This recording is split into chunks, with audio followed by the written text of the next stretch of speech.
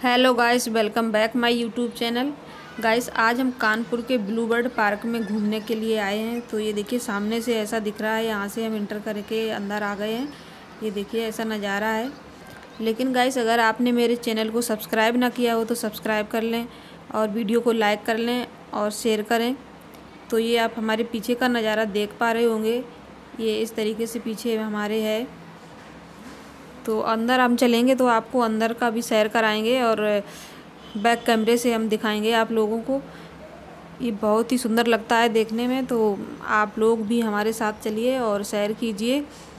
ये देखिए पीछे हमारे, ये एक सामने से ही एक बिल्डिंग बनी हुई है और ये बाउंड्री वाल ऐसी बनी है जैसा लगता है देखने में, जैसे कोई बिल्डिंग बनी हो। देखने में ऐसा नहीं लगता कि हम इंडिया में, ऐसा लगता है कहीं इंडिया से बाहर घूमने आए हों, इस तरीके का नज़ारा यहाँ पे देखने को मिलता है। तो चलिए, हम भी चलते हैं अंदर और आप लोगों को भी घुमाते हैं।